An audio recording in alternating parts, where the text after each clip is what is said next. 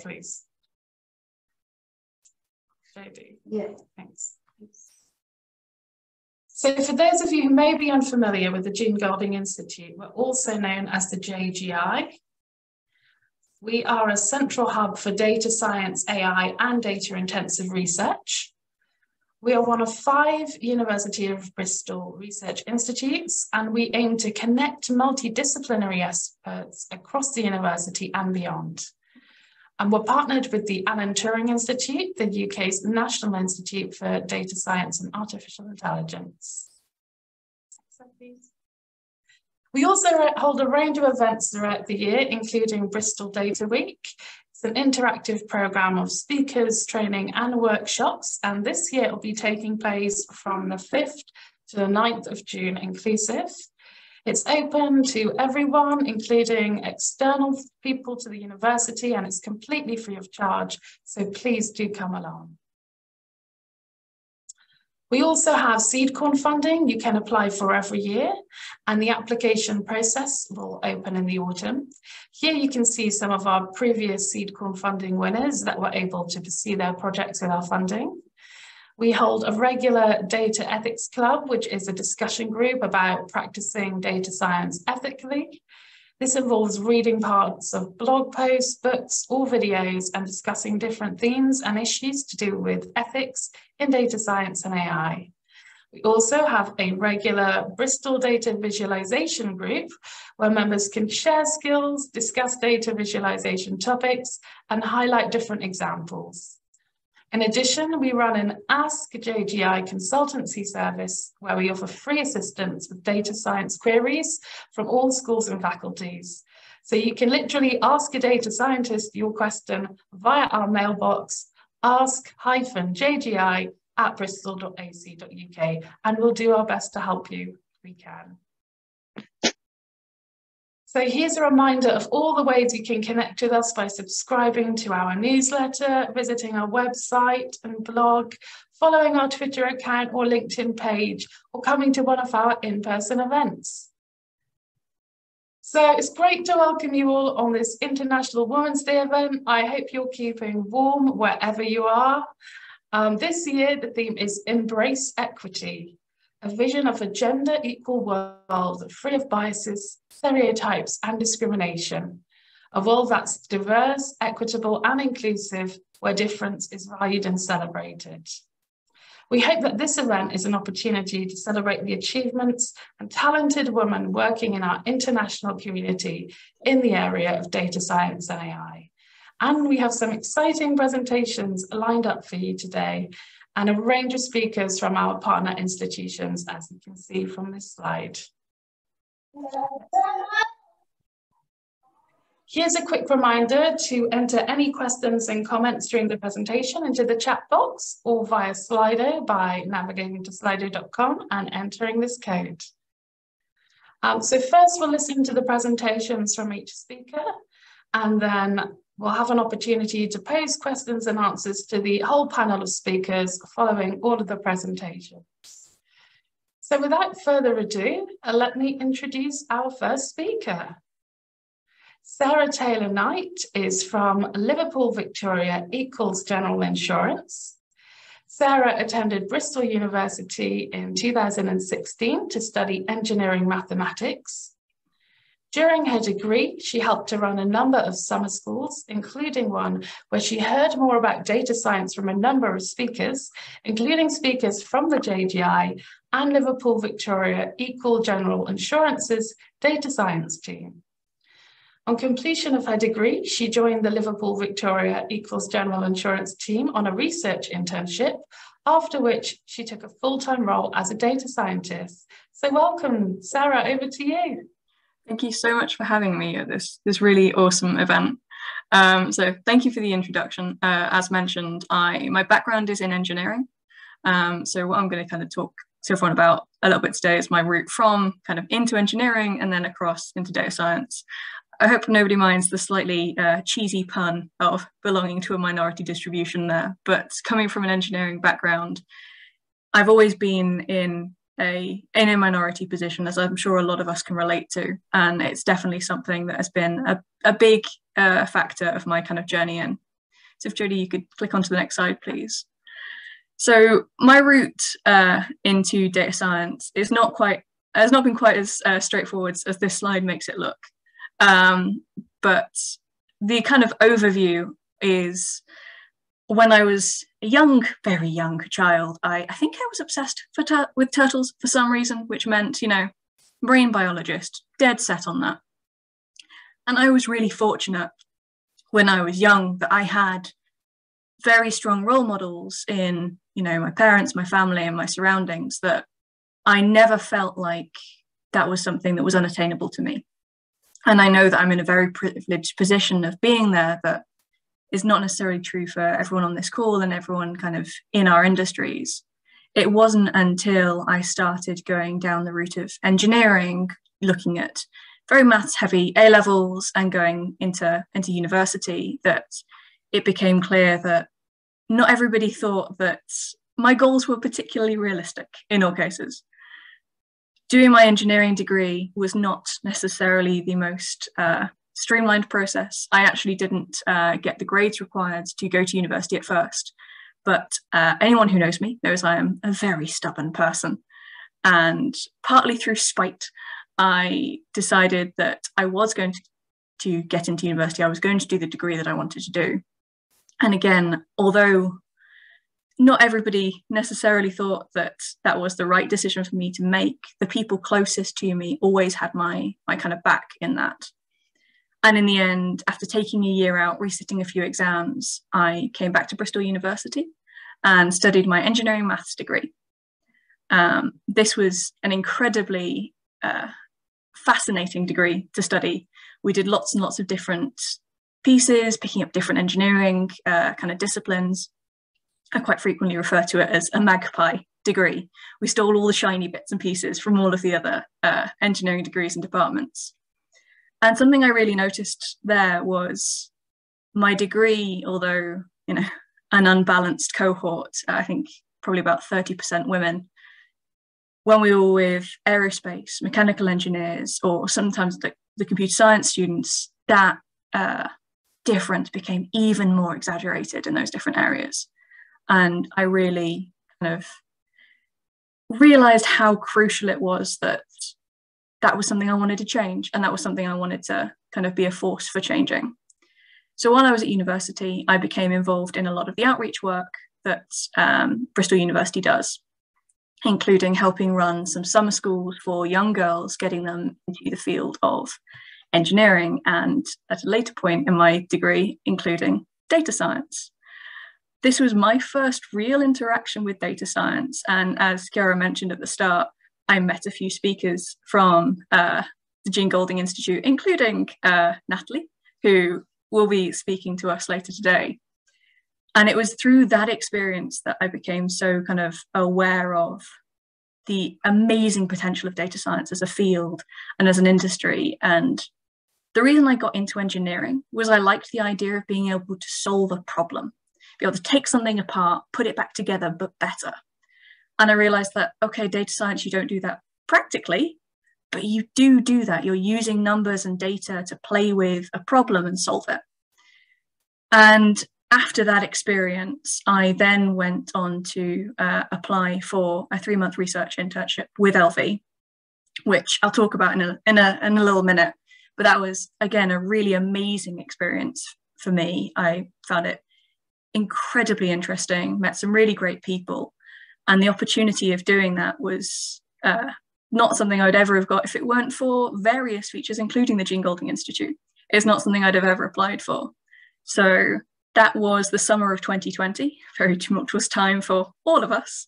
Um, but ever since that, I have stayed with the team and continued being involved in events like these and work where I can really give back to a community that has not necessarily always been the easiest to get involved with, but ha- is so important for us to get more women, young girls, anyone of any kind of um, any minority distribution to really get involved in this field because we all have so much potential and value that we can bring to this field. And I think stressing that is so crucial. And that's why events like these are so important. Uh, if we could move on to the next slide, please. I think you've heard uh, enough about my story. And so I just wanted to talk a little bit about the LV data science team. So as a team, we do so many different things. Two of the focuses that I've kind of pulled out here are our use case work and our research work that I'll get into in detail in a second. But also we do work on best practice, on uh, really contributing to the, the data science, like the global data science community. Uh, so it wouldn't be right for me to come on this and not plug one of our uh, open source Python packages that we have made as a team and sort of released into the wider world. Um, it's called Tubular, um, and it's essentially a data pre-processing package.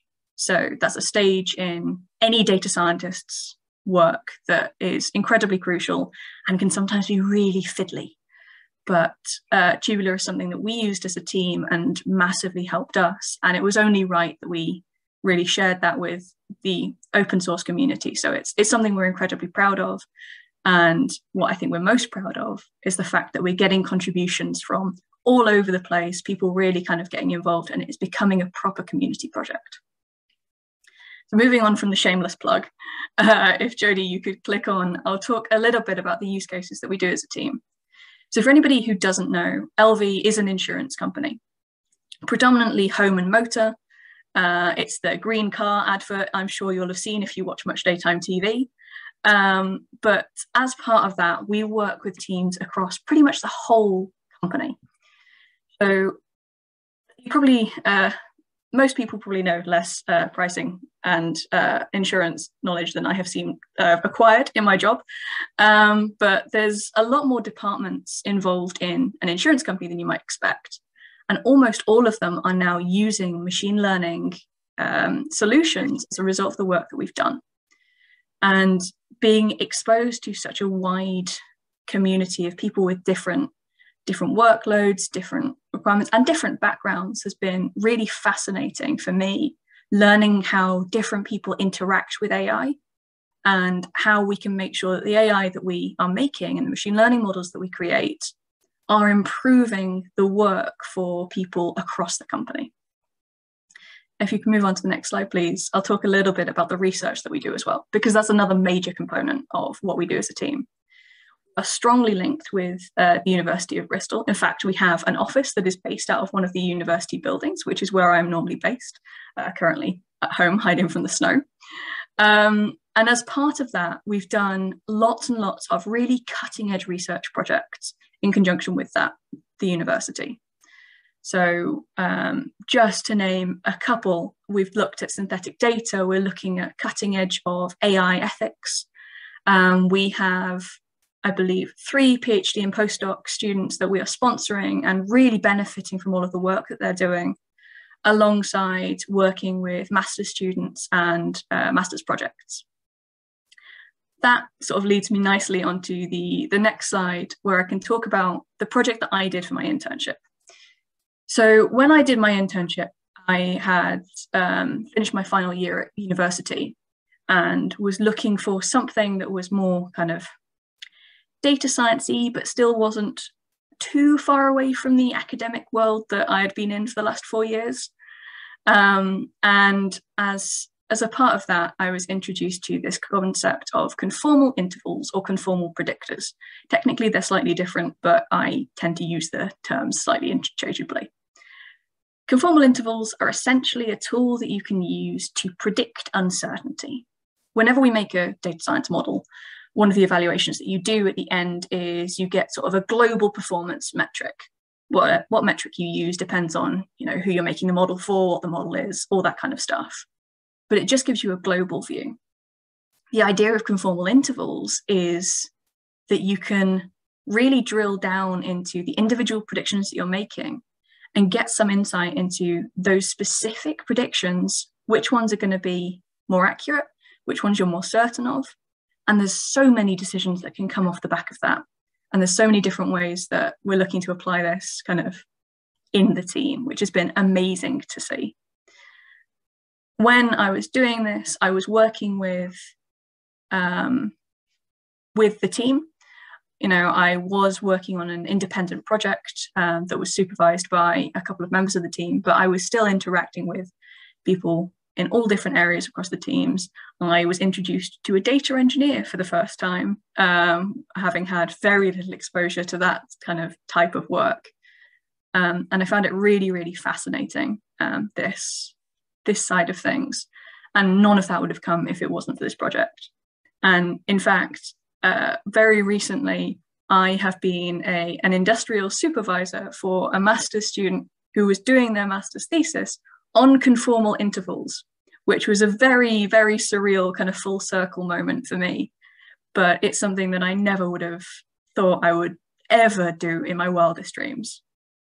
But really, for me, I think I want to just move on to, if you could click on once more, Jodie, I have to talk about the highlight of this experience for me, which was um, presenting at a company wide forum, which meant that anyone across the company with any kind of background could come along and talk about conformal intervals, which, of course, given that opportunity, I had to make it about dogs.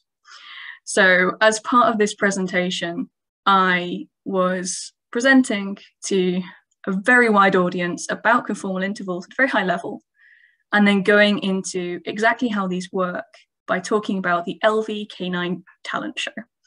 And it was an amazing experience uh, presenting but the thing that I really took away from it was having people from across the company message me of, oh, I didn't really know anything about data science, but that was fascinating. It's a really interesting idea.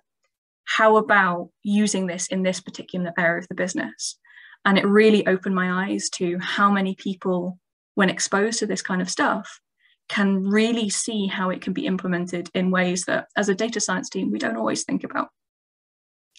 Now, I uh, I think that's that's all from me. As I said, that's it's been an absolutely amazing experience, and thank you so much for having me. Thank you very much, Sarah, for that presentation. It was amazing to hear about your journey um, going from an intern to, to a supervisor, industrial supervisor, what you're doing now. And it's really nice to hear that kind of full circle moment of you speaking to Natalie at the beginning and now you're presenting with Natalie. So it's, it's, it's very surreal. I'm still slightly pinching myself. Yeah, yeah, good on you. Brilliant. Well, um, please continue to put your questions in the chat. I've got a few for you about the Canine show and other things, but I will hold back. And um, I'll move on to our next speaker, Ayaka Sakata from the Institute of Statistical Mathematics based in Tokyo, Japan. And thank you very much for joining us, Ayaka, because I'm aware your time zone is very different, so it's probably the evening where you are now. Um, so Ayaka obtained her PhD from the Graduate School of Arts and Sciences, the University of Tokyo in 2011, where her research focused on the intersection of statistical physics and biophysics. Following her PhD, Dr. Sakata held the position um, of the Japan Society for the Promotion of Science, also known as JSPS, Research Fellow at Tokyo Institute of Technology from April 2011 to March 2014. During this time, she was engaged in research on various projects related to statistical physics, information science, and machine learning. After her tenure as a JSPS Research Fellow, Dr. Sakata moved on to Riken as a special postdoctoral researcher, where she held the position of researcher from April 2014 to March 2015. And then in April 2015, Dr. Sakata took on the role of assistant professor at the Institute of Statistical Mathematics, or ISM, where she continued to conduct research on statistical physics and statistical machine learning. She held this position until March 2020, and then in April 2020, she was promoted to associate professor at ISM. She currently holds this position where she continues to contribute to the field through her research and teaching. So welcome, Ayaka, over to you. Thank you. Thank you for our introduction. I'm Ayaka Sakata from the Institute of Statistical Mathematics. It's a great honor to be able to speak to you today. Since today's presentation is on International Women's Day, I'd like to talk about my path into the world of research and my research to date. Okay, go to next slide, please. Thank you. Now, I'm working as an associate professor at the Institute of uh, Statistical Mathematics and Sokendai, which is an affiliated university for PhD course uh, since 2020. Okay. Go to next slide. My research spans statistical physics, statistics, information science, machine learning, and biological evolution. Although these fields are seemingly not very related, but they are similar in terms of their mathematical expressions. The mathematical similarity means that mathematical methods in one field can be applied to another, and problems in one field can lead to the discovery of new problems in another. As for my personal background, I studied my research in physics, so I'll briefly explain why I chose physics and my journey into biophysics, information science, and machine learning. Okay, go to next slide. Uh, I attended a Catholic school from junior high school through high school, although I'm not a Catholic this chart shows the school curriculum. The school placed a strong emphasis on volunteer and charity activities. Sorry. And I went to various facilities for volunteer activities as school events. For example, I went to facility for disabled people, for the elderly people, and sanatorium for people suffering from leprosy known as Hansen's disease. And since there was an affiliated women's university, most students were expected to go there at that time. Uh, I counted my friend on Facebook and uh, sorry, uh, some some text vanishing, sorry. Uh, this chart means that roughly 70% of students went to the affiliated university but I applied to another, another university that had a School of Science and gained admission based on recommendation. In general, to pass the university entrance examination is the most serious problem for high school students, but I and most of my friends does not have uh, such experience. So uh, I cannot talk about the difficulties that female students had when they choose a particular measure as if it were my own. For example, I've heard some uh, from those around me that they were discouraged by advice such as science is not suitable for girls. But fortunately, I have not had that experience. Go to next slide. I enrolled in physics department, although I didn't have a strong interest in many topics in physics, such as relativity, astrophysics, and particle physics. The reason I chose physics was because I was fascinated by using mathematics to uh, describe things. And at that time, physics was the only high school subject that applied mathematics to explain various phenomena. However, nowadays, Japanese high school curricula also includes subjects like statistics and information science. So I might have followed a different path if I were in high school right now and had more knowledge about these topics. Go to next slide. In fact, I didn't have, I didn't, uh, sorry. Okay. So I'll skip.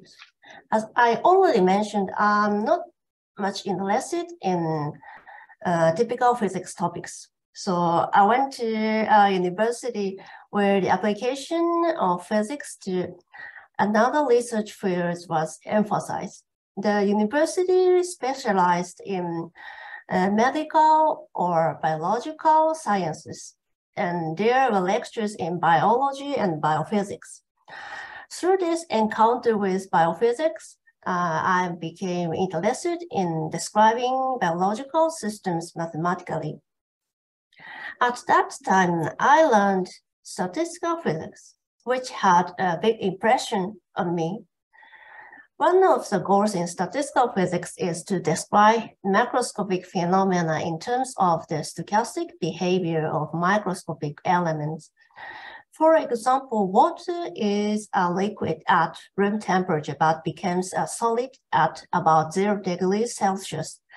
This kind of change of state is called phase transition and was originally studied in thermodynamics, where macroscopic observation is the only approach to understanding phase transition phenomena. After developing the kinetic theory of molecules, researchers started to uh, understand uh, macroscopic phase transition using mathematical expressions by microscopic molecules. And nowadays, it's considered that cooperative behavior of microscopic molecules is essential for the phase transition phenomena. And in general, biological organisms consist of many types of compounds. And this high complexity prevents us from constructing mathematical theories to explain their behavior. Some physicists have attempted to describe some phenomena in biological systems, such as protein folding, from a statistical physics point of view. In statistical physics, uh, coarse-grained description, in other words, abstraction leads to a universal understanding of various phase transition phenomena.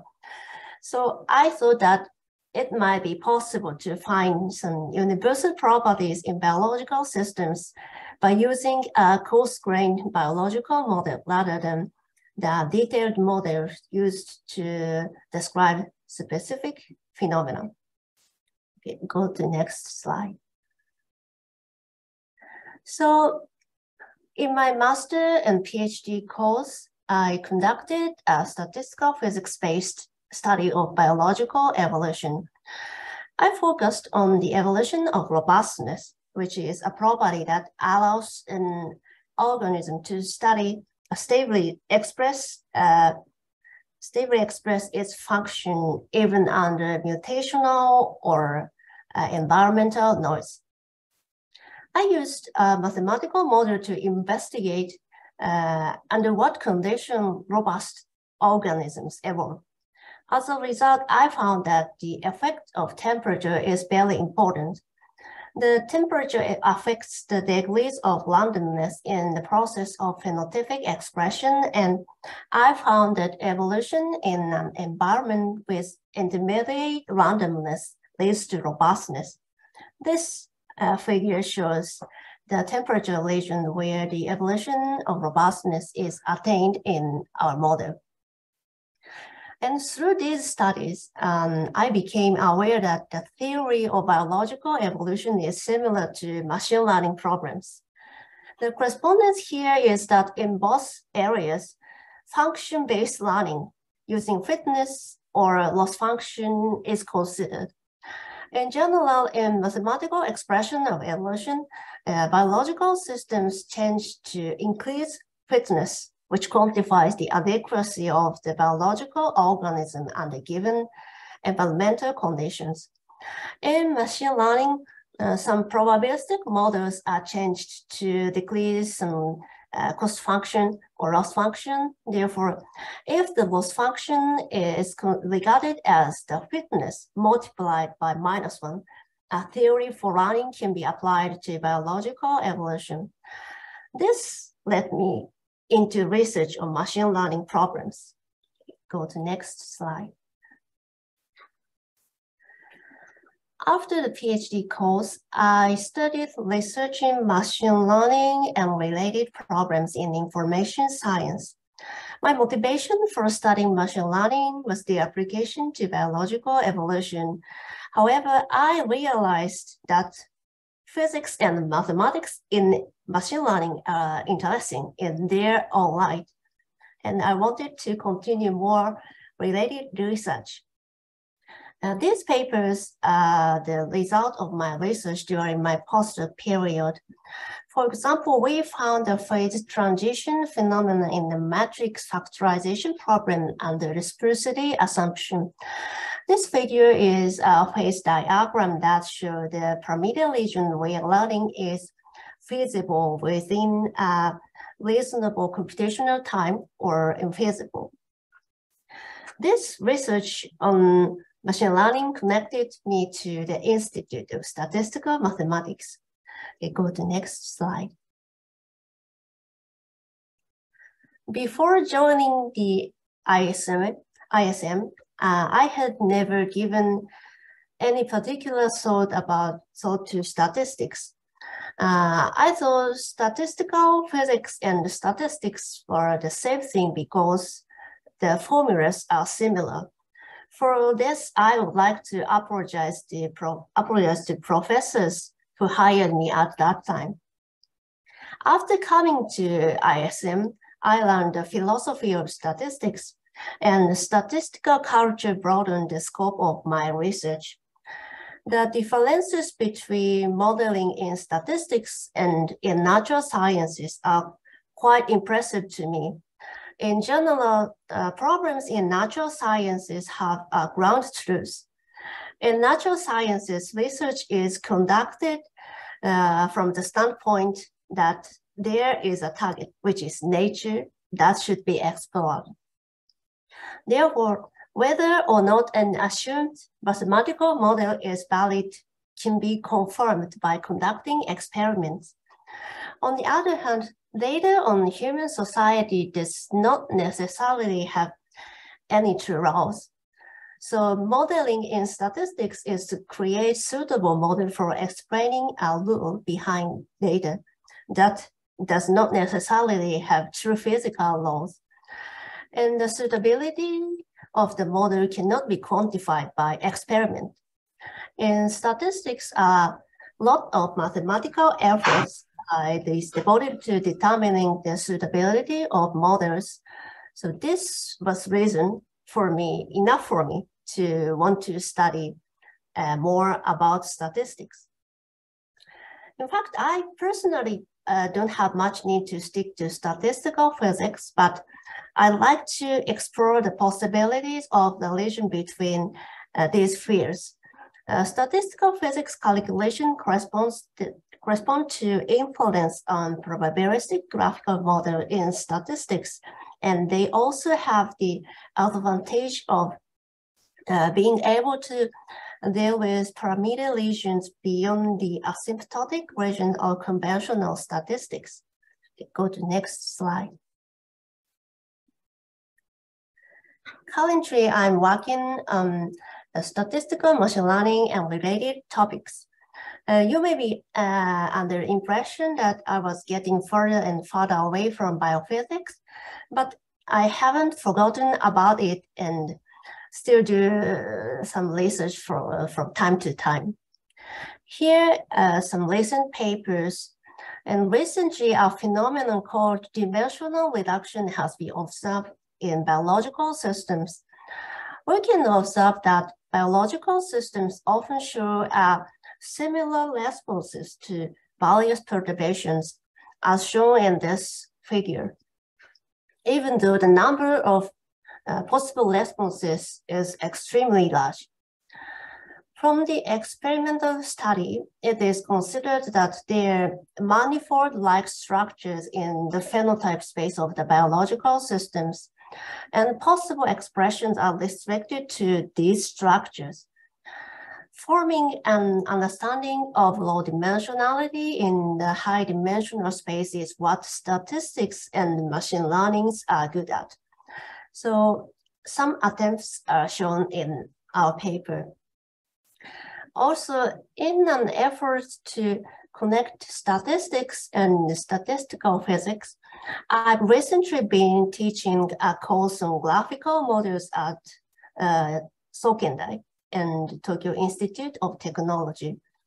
I believe that probabilistic graphical models are at the intersection of the uh, these two fields, statistics and statistical physics. So I'm giving lectures in the hope that the number of people specializing in this field will increase and the connection between research areas will be tightened. In the 1980s, uh, when books began, uh, when books began to uh, be published on graphical models, the language of statistical physics was already being used. For example, the partition function was commonly used. And I assume that researchers at that time found this correspondence useful. At least in Japan, there are not many people working on uh, these research topics. So I would like to nudge human resource to take this task. Go to next slide. Okay, in summary, uh, today I talked about my research career, including why I chose it. I have been conducting my research without a strong awareness of my female attributes. This is because, fortunately, I have never been discouraged from doing what I would like to do because of being a woman. This comfortable atmosphere has come as a result of the struggles of women in the past, for which I am grateful. I need to, I need to pass this environment to the next generation. I think this kind of experience depends a lot on uh, people around you and the field you measured in and your personality. So in fact, I believe that even today, there are people who are prevented from freely choosing their career path because they are women. I, it, it does not uh, help them to accept my fortunate example as the normal case. So I hope you will accept today's story as an example only. only. Uh, I would like to present myself as an uh, example of successful female researchers so as to inspire other women who wish to follow a similar career path. Thank you for your attention. Thank you, Ayaka. Thank you very much. And you are inspiring and thank you for sharing your story. It's fascinating hearing about the evolution of your research and to see data science from a more of a physics and statistical angle. So thank you very much for that. We do have some questions in the chat, so I will keep those in my mind for after the presentations and please do keep the questions coming. Um, we will move on to Chakaya Nyamvula from iLab Africa, based in Nairobi, Kenya. So Chakaya is a highly skilled and driven business intelligence analyst with a passion for using data to drive business decisions. Ms. Chakaya has a strong background in Python programming and is interested in the application of machine learning in the field of business intelligence. She is a graduate of Strathmore University and holds a bachelor's degree in computer science. At iLab Africa, where she works as a business intelligence analyst, her expertise in Python and business intelligence allow her to develop automated reports and dashboards that help her company make more informed decisions. Ms. Chakaya's interest in machine learning has led her to explore the applications of artificial intelligence in business intelligence. She has attended several conferences and workshops to deepen her knowledge and stay up to date on the latest trends in the field. During her time at iLab, she has managed to work on various projects in different fields, such as health and politics. And she is a self-motivated individual who believes there is nothing impossible for one who truly enjoys working in a team of talented people. She enjoys spreading her knowledge by teaching others the importance of data analysis and helping to inspire the next generation of data professionals. So over to you, Chakaya. Uh, thank you very much for that uh, introduction. So as she said, my name is Chakaya Nyambula, and I work as a business intelligence analyst at Strathmore University and iLab Africa. And so this, this presentation will basically be a female perspective of data science, uh, my journey into data science, uh, my challenges and my the rewards that I've experienced working as a BI analyst and the research projects that I've worked on and my various interests. So my data science journey started in 2018 when I joined uh, Strathmore University to pursue my uh, bachelor, bachelor of Science in Informatics and Computer Science. So before I decided to do computer science, I was a jack of all trades. So I was interested in very many fields. There's a point in my life I wanted to be a doctor. Another point I wanted to be a pilot. Uh, another point I wanted to be an engineer, an aeronautical engineer. I even wanted to be a photographer at one point, even got myself a camera and started taking photos. So how I ended up choosing computer science is uh, the point where we were meant to decide the courses that we'll do in university. Software engineering was the big word in the market. So I thought, okay, why not try try out software engineering? So that's how I decided to do informatics and computer science. And when once I joined um, the course, uh, I was I was shocked. So first of all, my class was 30% male. I mean, sorry, 30% female, 70% male. So it was quite intimidating. And then also it was a bit, I found it a bit difficult. So I was stressed for most of my first year, second year. Then around my third year, I, in 2020, that is, I decided to do the certificate course in data science that is offered at iLab Africa. And that's where I fell in love with data and I fell in love with data science. So it was a three months course. And by the end of the three months, I knew that I had found my, I will say, calling. So from 2020 onwards is when I started to venture into the data science field, into artificial intelligence, machine learning, and uh, as of right now, I'm very glad that I made that choice to do the certificate in data science. So my two choices were either to do a certificate in data science or a certificate in networking. So whatever made me to choose data science, I am grateful for that.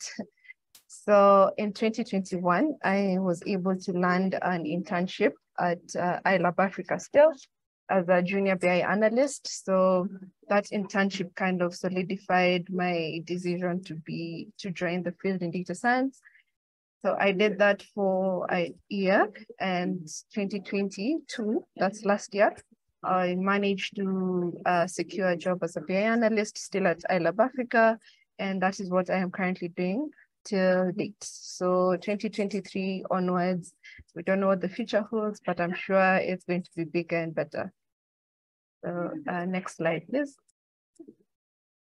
So uh, as a female uh, in the data science field, I have experienced some rewards and I've also experienced some challenges. So some of the rewards that I've experienced is that the data science field has given me a chance to grow and develop my career as a female in the data science field. Uh, something else that is very rewarding in this uh, field is that it's very flexible. So by flexibility, I mean uh, you can venture into data science as a whole, uh, gives you an opportunity to venture into different, um, let me say, aspects. So you can do data analysis, you can do, you can be a data engineer, you can be a machine learning engineer, you can do BI, uh, you can be a business intelligence analyst like I am doing. And also it gives you a chance to uh, try out different fields. So uh, you can do, you can be in health, you can be in politics, you can be in uh, entertainment. So any field uh, that you want to join in data science, there's always data. So as I say, data is the new oil. So in any field that you join, you'll be able to um, use your skills in data science. So another reward of working in data science is that the social aspect of uh, the impacts that you can do or that you can make using data. So for example, uh, if you're into climate change, you can do things like flood mapping, drought mapping. Uh, if you're into health, you can do some health analytics and using, by doing this um, projects, you will be able to uh, change the society in an impactful way and um, yeah, make positive changes in the society. So we have, I have experienced some challenges, but I will talk about them in terms of opportunities and not challenges per se. So uh, data science or tech in general being a male dominated space can be quite challenging to uh, venture into the field. But in my experience, in the few years that I have been in the field, it has come to my attention that despite it being a male dominated space, uh, STEM in general, so that's science, technology, engineering, and maths, being male dominated, if you have the skills, you can, you will be able to uh, penetrate into the field. So despite it being male dominated, there is a chance for anybody who has, who is skilled. So because you are rewarded uh, based on merit and not uh, whether your your gender or anything. So that is what that's my experience of being in the data science field. And also because more females are joining the data science field, the AI field, machine learning, uh, you're, also, you're also able to get uh, role models or mentors who can work with you through your journey. So in my work of place, there are many females who are in the data science field. So these are females that I look up to that uh, guide me whenever I'm stuck in anything and show me the way. So next field, next slide, please. So my interests uh, in the data science field will be business intelligence. So this uh, basically involves data mining, uh, data analytics, uh, data storytelling, dashboarding and reporting. Then we also have artificial intelligence and machine learning. So I'm interested in doing predictive analytics, in doing natural language processing and computer vision. And then so far, the few projects that I have worked in I have worked on, sorry, uh, uh, sports analytics. So naturally, I'm not a sports, a huge sports fan, but because of this field, I have been exposed to the sports world and the sporting uh, uh, scene. So I have been able to work on a few projects on the sports analytics. Um, there's also health analytics. So my background is in computer science. I have no idea, uh, have no idea anything to do with health and medicine, but being in this field has given me a chance and an opportunity to venture into the health space. Yeah. So uh, speaking on sports analytics, we'll be having a webinar next week, Friday on sports analytics. So you're free to join. Uh, next slide. I think that's it for me. Thank you. Thank you very much, Chakaya. Brilliant presentation and um, really interesting to hear about women supporting other women, so mentorship and role models. So I would like to ask you more about that at the end of uh, the presentations. So now we move on to um, Maria Ogamba from iLab Africa also, based in Nairobi, Kenya. So Maria is a dynamic and driven business intelligence analyst who is currently pursuing a master's in data science and analytics with a passion for leveraging technology to drive business success, Maria has built a reputation as a skilled problem solver able to turn data into actionable insights that drive growth and efficiency. After completing her bachelor's degree in informatics and computer science, Maria started her career as a business intelligence analyst at iLab Africa. Her expertise in Microsoft Power BI and Python programming has been instrumental in her ability to translate complex data into easy to understand visualizations. In her current role, Maria is responsible for leading data analysis and reporting for multiple research projects. She also leads the Smart Academy, an initiative to mentor and share knowledge with future data scientists. Her interest in machine learning led her to enroll in a master's program in data science and analytics, where she is deepening her skills in data modeling, predictive analytics, and computational statistics. In her free time, Maria is an avid reader of data science blogs and articles and enjoys exploring new algorithms and techniques in her personal projects over to you, Maria. Uh, thank you very much for the, the introduction. Uh, as she mentioned, my name is Maria. I'm also a BI analyst working with Chakaya at iLab Africa here in Nairobi, Kenya. Uh, I think I can get into giving a brief overview of my journey into data science. We can go to the next slide. So I joined Strathmore University and pursued my degree in informatics and computer science. Uh, the reason why I chose computer science was because I wanted something that was a bit more tech-based, but still had an aspect of mathematics because um, growing up, I've always been interested in math and I wanted to see if I could be able to combine the two. So I decided to do uh, my computer science degree. Uh, once I completed that, I was able to get an internship at iLab Africa as a junior analyst.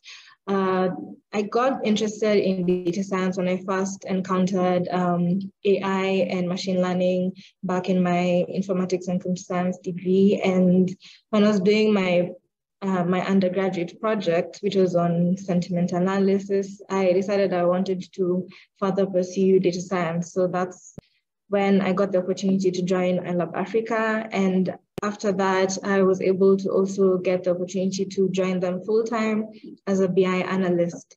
Uh, aside from being a BI analyst, I also lead the Smart Academy, which uh, is an initiative to mentor as well as provide uh, guidance for the, for the future data scientists or data analysts that we have here, uh, focusing on the students at Strathmore University, but it's also open to all students from various universities in Kenya. So I chose to do my master's in data science and analytics uh, with a focus on computational statistics, because as much as I was able to do a lot of self-teaching, I felt I needed to further my education so that I could understand uh, data science more in depth and to also diversify all that I've learned so far. So I can talk a bit more about the research that I have done. So that will be in the next slide. So currently um, working on projects on healthcare uh, chatbots. So this will be um, mental health chatbots that will enable um, maybe, for example, if someone would like to uh, to access mental health uh, information, the chatbot will be able to do that. So we'll be incorporating natural language processing into that. Aside from that, I'm also working on uh, projects on AI in agriculture, where we are seeing if we can be able to give farming and weather advisory to farmers here in Kenya. So my, I would say my main research interests are natural language processing and computer vision. I would like to uh, maybe in the future specialize in machine learning as someone with a computer science background, I felt to, to be a bit more easier for me to venture into that yeah. So I would say so far in my experience as uh, as a woman in data science has been quite good. Uh, I think when I first joined my undergraduate degree, there was that gender imbalance. But once I joined the data science field, I realized there are a lot more women in the space, and I was very grateful to have that because even getting that mentorship was much easier. Because in this field, it's very good for you to have that sort of, um, let's say, teamwork and men mentorship, so we can all work together to make the space even more inclusive than it is. Um, aside from that, um, I think maybe we can go to the next slide. Uh, I would say from, aside from my experience as a woman, uh, generally my experience in digital science is that uh, coming from a computer science background, um, in the projects that I will venture in, I will realize that I do not have the domain knowledge. So maybe I'll be given a project on agriculture, but I don't know much about agriculture. So it will push me to do a lot more research, a lot more reading.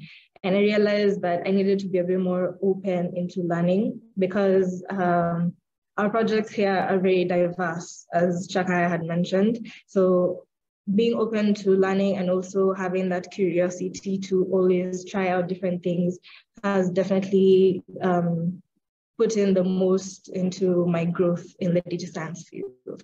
Um, it was also that whole uh, aspect where I did feel that I had a bit of imposter syndrome, but I'll say I found a way to curb it. So when I looked at my undergraduate uh, project that I did, it was on sentiment analysis to uh, view the impact um, of the shift from traditional learning to online learning looking back at the work that I did, it was not that bad. But looking at if I was to redo the project right now, I can see there's a whole different field that I left out that I could have definitely explored. So seeing that made me realize that I have grown so much and my skills have definitely gotten a lot better. So it was very nice to just look back at the projects that I've done before to see how I, I, would, I would approach them now and realize that there's definitely been a huge growth. But aside from that, I'm grateful to have a community where I can be able to speak about my experiences or any challenges that I have, and also getting a mentor or mentors who are able to give me advice where I, I require, as well as um, areas where I can improve. So maybe sometimes you might feel stuck, but having that mentor or person that you can speak to is definitely very important. So I also try to do that as well. Um, as, as, as mentioned, uh, we have the Smart Academy. So I try to at least find a way to mentor future data scientists. Uh, yeah, so that's all for my presentation.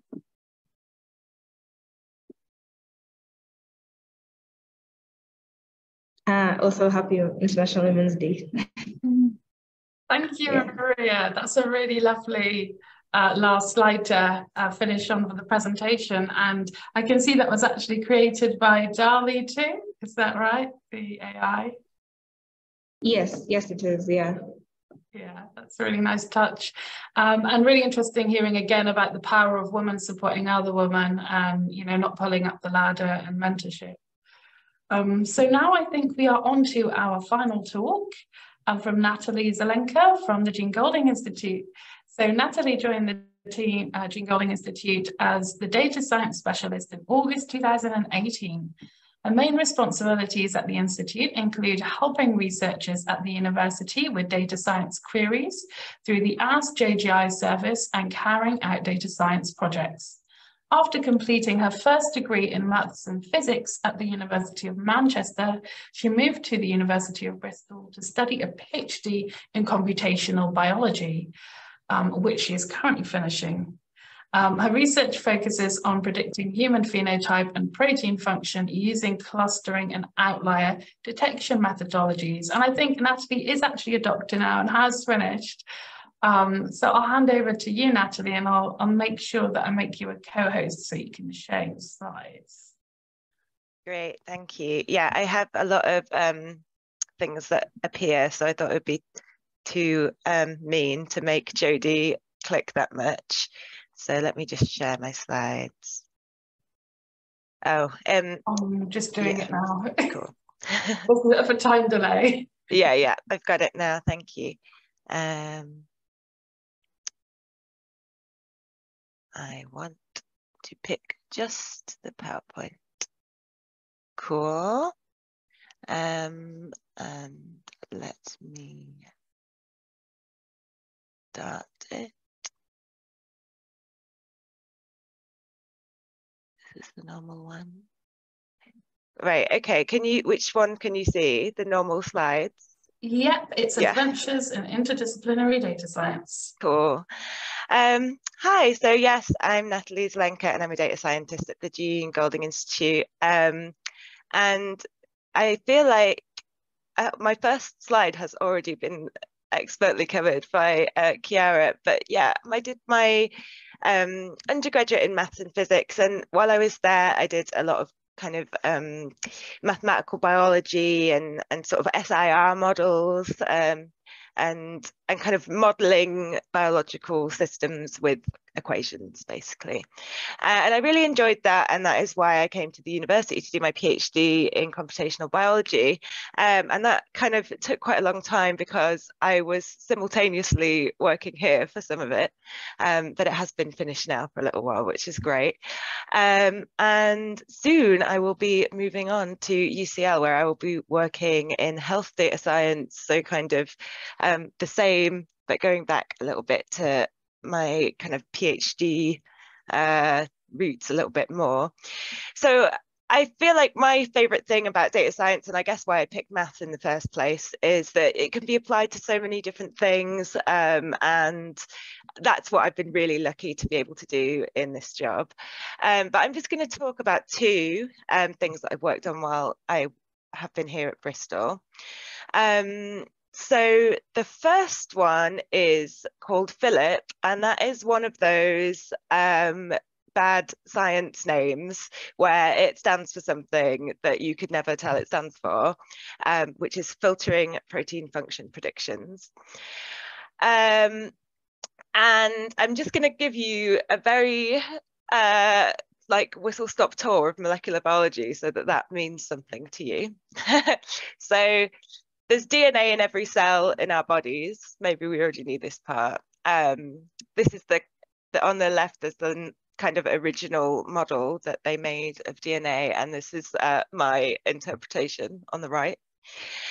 Um, and this DNA that's in every cell of our bodies has about 20,000 genes, and these are parts of the DNA um, that are used as blueprints to build proteins and proteins are what do everything in our body. Um, so they make up our cells uh, they make up like all of the really complicated molecular machinery that does things like replicates dna um, they signal you know what your other proteins should be doing. So for example hormones are proteins.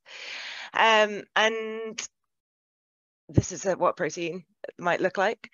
And um, in all of the different cells in our bodies, different genes are, are, switched on and off. So even though we have all of these genes in every cell, uh, different ones are switched on and off. And that's why um, your ear looks different to your lungs and does different things um, because different stuff is going on in there with your with your genes and with your proteins. Um, and so for example, at a, a bigger scale, these um, these proteins can cause different um, traits. So this is um, a picture of Mendel's pea experiment, um, and he basically showed um, that you, if you cross a like a pink or a purple uh, pea flower and a white one, you'll get a generation of uh, ones that are just um, purple but then um, they still are kind of holding on to this information somehow because in the next generation you can get a mixture. Um, and we would really like to know in humans um, what all of our proteins do in the same way as we know, you know, which proteins make a pea flower um, white or purple. Um, and the reason that would be so useful is because um, it's useful for um, diagnosis and healthcare. So people with rare diseases, for sometimes it can take them, you know, 20 or 30 years to be diagnosed with the right um, uh, disease, and then that really can um, affect uh, having access to the right treatment um, or, you know, not being given the wrong treatment. Um, and so that is kind of what I was trying to work on is um, predicting what proteins do. So the way that people generally do that is that they um, they um, try and figure it out by using either the sequence of DNA or the structure of the protein. So this is kind of like a sort of the structure of the protein. Um, so for example, you might want to try and find um, a protein, like an unknown protein that is like similar structure to one we do know about and um, then you might say oh yeah that probably does the same thing because it is the same shape. Um, and what you get out of that is um, a link between a, um, a protein and a trait. So we might say oh this protein um, causes uh, or affects your chance of getting lung cancer. Um, and th these methods are quite successful, but the only, uh, well, not the only problem, but one big problem with that is that that protein might never be actually created um, in the lung. So, um, which makes it not a very good uh, prediction um, because it would never get the chance to cause lung cancer because it never gets created there. Um, maybe this protein is only ever created like in the ear and therefore it's never going to do this um, lung cancer causing process you're predicting. Um, so that is what I was doing when I made Filip, which is a filter for protein function predictions. It takes in all of these protein um, protein and trait pairs um, that are generated by a huge wealth of different um, phenotype um, and protein function predictors out there. And it filters those to take out the ones that are never expressed in the tissue of interest. Um, so this was a, really big undertaking in the mapping exercise because um, it's not that easy to go from um, like the name of a um, trait to the um, to the data, the name of the tissue. Um, and what I did to do that was to use biological ontologies. So just to briefly scare you, this is like what a small part of a biological ontology uh, would look like. Uh, so it's like a big knowledge graph. This is just a very tiny part, of course, um, and you can extract information from that. Uh, for example, the lung is an organ. this is something that you could extract useful information like that. Getting rid of that now. Um, but anyway, I was really, I wanted to talk about this one because I enjoyed, uh, it worked out pretty well. Firstly, it worked out really well in the, um, in terms of the number of the predictions that it got right. So 99.973%, which means, which is actually, uh, it got wrong 23 out of over 85,000 uh, things it filtered out. Um, but what I thought was actually way more interesting than that was that all of these incorrect 23 um, filters were traits related to development and I didn't include data about developing tissues in the mapping. So I'm pretty hopeful that I could push it even further. However, there is a downside uh, in that I need to improve the coverage. I need to map more of these um, traits to um, tissues and include more um, gene expression data. Um, because at the current uh, level, even though it does a really good job of throwing out the wrong uh, predictions, it's not enough to make a big dent on the overall success of um, the predictors that are going in. Um, I did want to say one extra thing about this, um, which is that um, it. I think it's quite important to only use this kind of um, uh, technology on um, on on the types of um, traits that we might want to treat or that people do want to treat. Um, and I've just included a little uh, label here, which I will explain where this came from next, because this is the next project that I have worked on here at Bristol. So um, this uh, is the Data Hazards Project, and it's a project about the worst case scenarios of data science. So I think data scientists are really great at selling our work, for example, um, communicating efficiency and accuracy, um, like you probably just saw me do. Um, but we're less well practiced in thinking about the ethical implications of our work. And actually, I only put the label in at the end because I was like, oh, I don't haven't even used my own label. Um, so it really goes to show that we are less well practiced. Um, but the point of the project is to, it's an open source project where anybody can suggest new labels, suggest changes to labels, and it covers a really broad um, range of ethics issues in data science. So not just stuff that um, the institutional review board might um, help you with, um, but also kind of wider societal impacts of, of data science and algorithms work.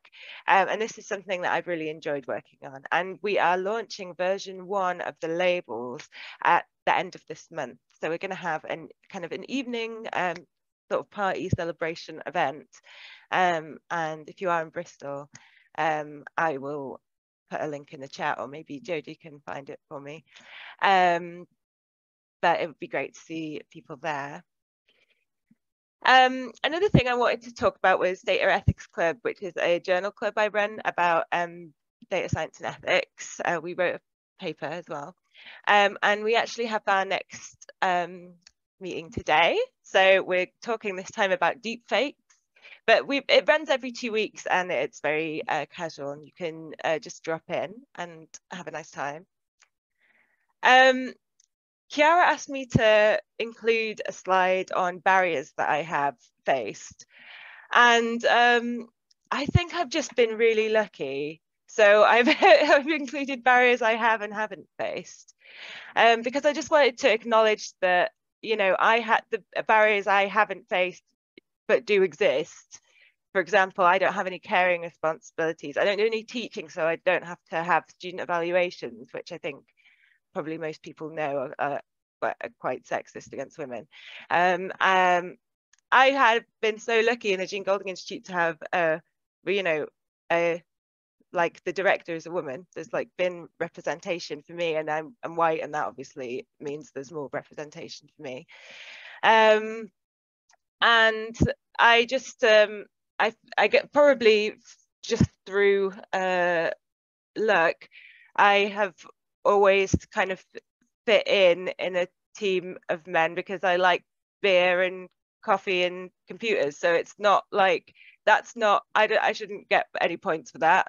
Um, it's not fair, and I think we have to kind of push back against those things. Um, and I think in terms of in academia, we see that um, women sort of drop out before they become um, like more senior leaders. And I haven't uh, got to that point in my career yet. So I haven't faced that barrier yet either. Um, there are also lots of things that I kind of, um, I kind of worry, I, I thought I might be judged for, but then I actually haven't been. And I thought it might be nice to mention those as well.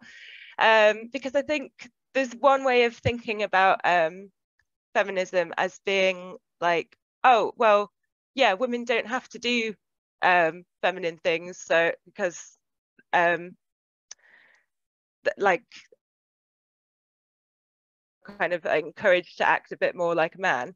Um, but I think it's also nice to just not judge people for things like unhinged amounts of exclamation marks or you know being interested in ethics um, and I've never found anyone judgmental about that the barriers I have faced are like sometimes weird assumptions. Like when I did join, I joined one team and they were like, oh yeah, you'll probably like, we can probably be like more caring and, and like make less rude jokes now. Like, is that my job? Uh, imposter syndrome, who doesn't have that? Um, and being asked to do kind of diversity tasks. Um, that's the other one.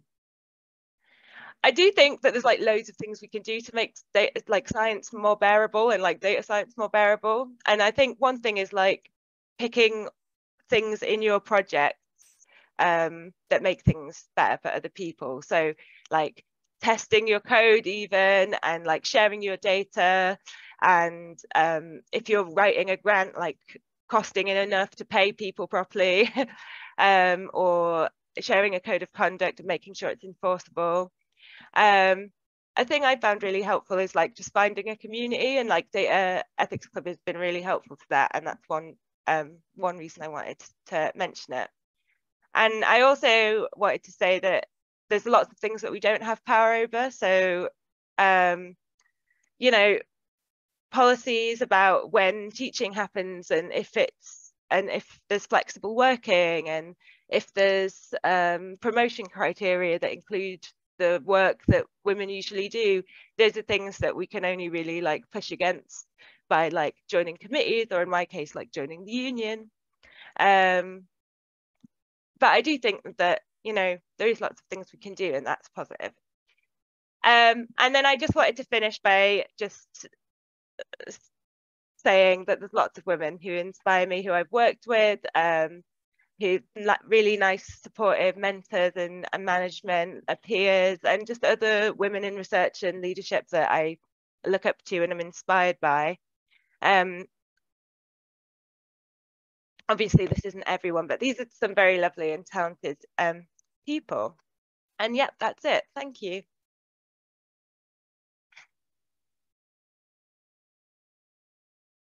Thank you very much, Natalie. Oh, that was a lovely last slide. And um, I really enjoyed hearing about those three groups, the, uh, you know, the barriers and what you have and haven't faced. Uh, but it's good to have an awareness of general barriers that still exist for many.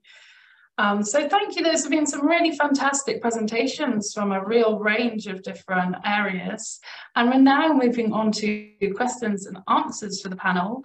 And I believe, um, Song, you did put some questions in the chat box. Would you like to ask these questions yourself if you're still online? Hello, uh, can you hear me? Yes.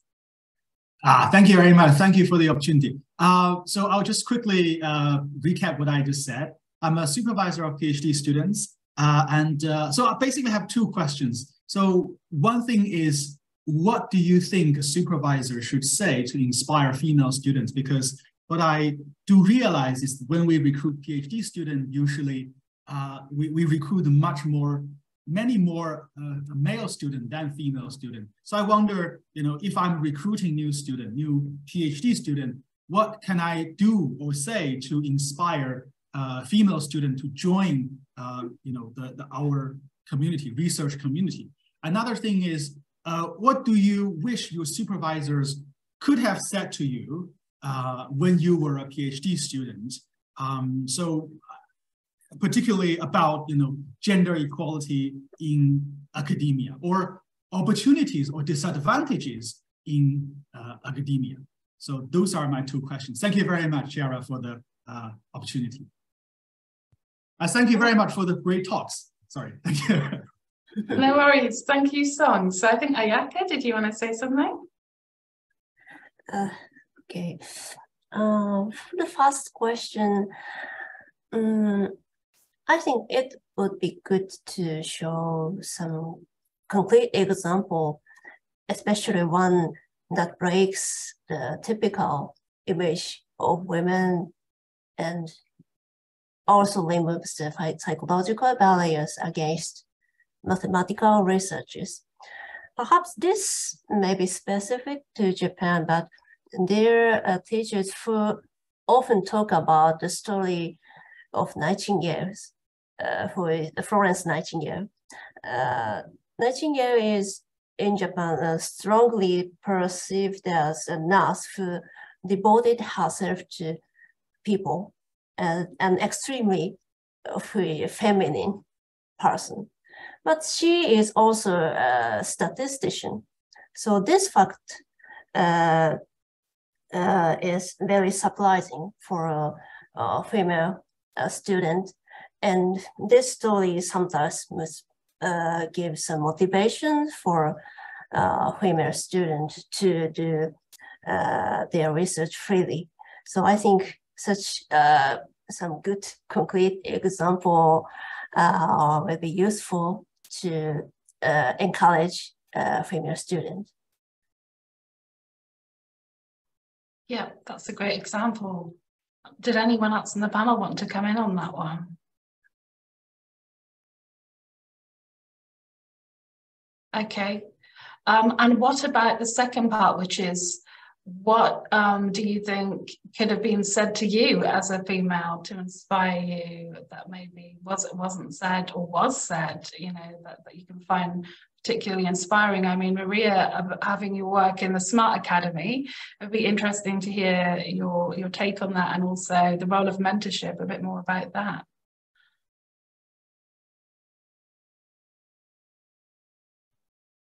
Uh, i will say that um, usually I try to at least uh, hear maybe there's some certain uh, perspectives that each of my Smart Academy fellows have. So maybe I try to hear challenges that they may have and see how we can be able to um, work hand in hand to curb those challenges. And I try to also pair them with um, other BI analysts in our team who are a bit more uh, maybe close to what they are currently interested in working in. Uh, I'm not sure if that maybe answers your question, the question. Yeah, so that's those are the two things that we do. Yeah. Thank you. That's great answer. Thank you very much. Natalie? Yeah, I was just going to say it's it's for the first question, um, really. But um, one thing that I just think does tend to attract more um, female students to a project is, um, yeah, I do think that like if it's interdisciplinary in some way, that I think that can help quite a lot because when I did um, my undergrad in maths and physics, maths and physics were both like massively uh, male dominated. But in the maths and physics combined, it was 50 50 men and women. Um, and I don't know, that's just been my experience of like when I've suggested projects and things. Uh, I have a follow-up question, if it is possible. Sorry, did I speak uh, speak too much? Sorry, uh, Chair, no, do you want please, to move on? please go on. Go on, Sam. so yeah, uh, uh, just to follow up uh, Natalie's comment. Um, so do you feel that uh, uh, women or female students are are, are mostly um, sort of pushed to you know more applied research rather than fundamental mathematical research? because uh, you mentioned this kind of interdisciplinary um, interdisciplinary uh, uh, project. I wonder if it is a kind of uh, you know social norm to think that uh, um, yeah, man, I agree. Yeah. yeah, it's definitely not like women have to do into. There's nothing in biologically, you know. Um, but I think there might there might be some kind of like social bias for whatever reason. Um, I don't know. It'd be I I don't think another good thing to do would be to if you're having a joint project, then um, having uh, the other supervisor be a woman would probably also help. Yeah, yeah. thank you very much. I think, um, thank you, Sam, for that, and thank you for the panel. Um, Chakaya and I think um, Sarah mentioned being in groups where they were kind of 30% female and 70% male dominated. I mean, what advice would you give to women who find themselves currently in those situations at work or, you know, um, while they're studying? And um, yeah, uh, also you mentioned imposter syndrome. So do you have any strategies for dealing with that that have worked for you uh, personally? Um, Shakaya. Yes, uh, thank you for that question. If I'm not wrong, you're asking how to deal with, for example, in my undergraduate, the male-dominated course. So how I dealt with um, that situation. Yeah. So first of all, I'd say that don't don't fear that just because it's a male-dominated field doesn't mean you're not gonna prosper in it. And also, uh, the you can if the males in that course are that's exactly. You can also use them to kind of, uh, you know, propel yourself. So don't don't afraid to ask for help. If it's a it's a male male male colleague, male uh, male uh, classmates, just don't be afraid to reach out and ask them for help if you're stuck. Yeah. Yeah. Great advice there. And, and Sarah, what would you say from an industry perspective, I guess? Um, I think on the industrial side, coming from an insurance company, uh, there is a very specific image that comes to the minds of most people in the UK about what it, what somebody working in insurance looks like, and it tends to not look like me or anybody on the panel. Um, you know, there is there's a very very typical um, approach, but in reality, you do find that most teams have a decent, I mean, not perfect, and not good enough, but a better distribution of different kind of kinds of people than you'd expect. And something that I think didn't really occur to me until quite late on in my degree was the fact that most people don't really think about the fact that they're in the majority. And so they're not thinking about the fact that you may be in the minority. When you're in the minority, it is painfully obvious that you know you're looking around at a sea of faces and nobody looks like you. But people in the majority aren't, in most cases, sitting there and going, oh no, you don't look like me, you don't look like me. That's not something that comes through the heads of most people because of a state of privilege, realistically. And being able to sort of get that out of your head, which is far easier said than done, is puts you in a really powerful position because it does then enable you to, like Jakaya said, talk to the male individuals in your your company, your team, your your degree, whatever it might be, and learn from them and sometimes give them a bit of a reality check of, you know, you guys are in the majority and I personally am not.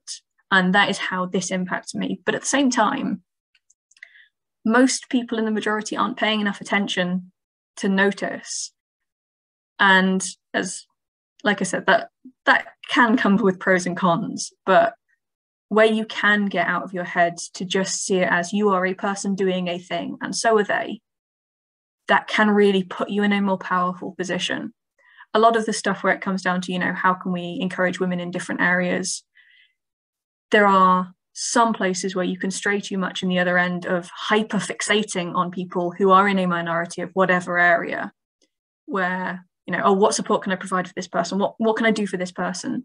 When in reality, most people in a minority are perfectly capable of getting on with whatever needs doing if they're allowed to do it. And I think that's a lot of what it comes down to is make sure that you you know what tools you need to get stuff done. And if you're not getting those tools, that that's one thing. But if you have those tools, kind of separating yourself from the idea of being in the minority can be incredibly powerful. Thank you, Sarah. That's actually a really good point, and it's a different way to look at it and to change your mindset uh, to flip things around. Uh, it'd be an interesting experiment to kind of do internally and to reflect on. And um, yeah, I guess it depends, you know, what your team's like and what your wider team's like. But also, there's something about um, I think in Natalie's slide, um, finding your community and finding other people that you can speak to honestly and you can have as a critical friend. And you can even just have to chat to or vent to, because sometimes even when you talk to someone, you have someone to listen, you can feel a lot lighter afterwards. Um, but I think actually we've unfortunately come to the end of the session. It's gone far too quickly. I would have liked uh, much more time for questions and answers. But uh, thank you all. Um, thank you, Ayaka, Maria, Sarah, Jakaya, Elaine and Jodie, the JGI team, Song, and everyone else who has joined us here today. It's been a pleasure hosting this and hearing about all your stories. Keep on inspiring and being the amazing woman you are. And um, yeah, please um, fill in our feedback form in the chat box if you do have a chance today, because it will really help us to improve future events. Um, but that's all from us today. So thank you again, everyone, and I hope to see you soon. Take care. Bye.